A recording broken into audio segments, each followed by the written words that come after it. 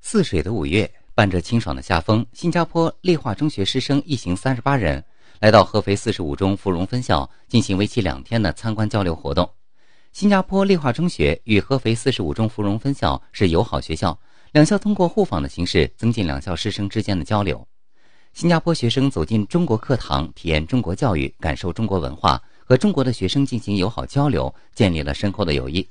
五月二十五日上午十点，两校师生在三楼报告厅举行联谊活动。本次活动由八二班的曹家辉和八四班的孙一恒两位同学主持。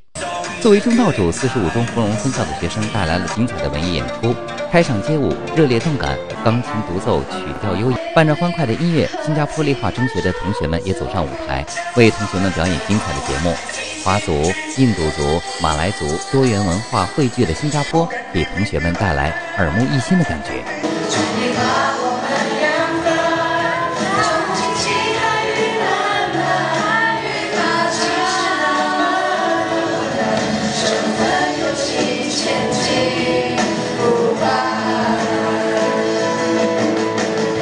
祝福中新两国友谊，四十五中芙蓉分校和立化中学的友谊可以地久天长。